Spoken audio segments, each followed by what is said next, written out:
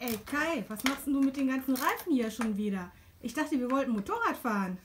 Tun wir doch. Sauerland. Wunderbar. Turnsport-Reifentest 2019. Du hast ja echt nicht mehr alle. Jo, ich weiß.